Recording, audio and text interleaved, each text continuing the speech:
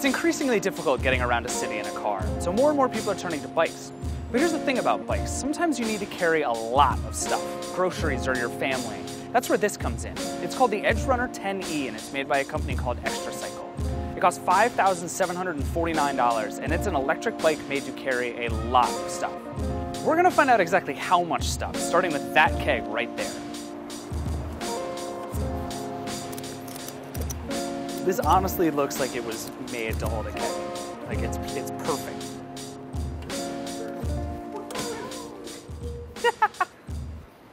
Hold on. Hmm, okay. There we go. I don't trust this thing at all. Okay, so this bike, and really probably any bike, is not a way to lug a keg. We figured maybe people would be easier. Oh, Jesus. the Bosch motor on the EdgeRunner is state of the art, and it's designed to augment your pedaling. Its four modes of power don't do the work for you, they just make every one of your pedal strokes much more powerful.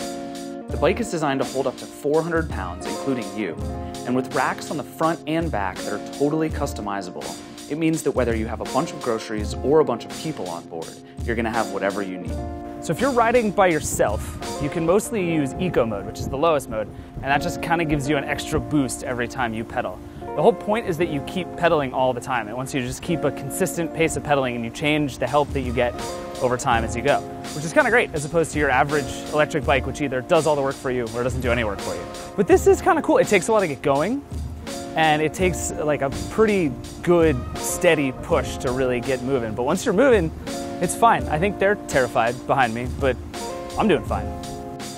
So there are self-driving cars and hoverboards all trying to make navigating our daily lives simpler. But the easiest family vehicle I've seen so far might be this one. Just a big bike with a big motor. This is better. Yeah, man.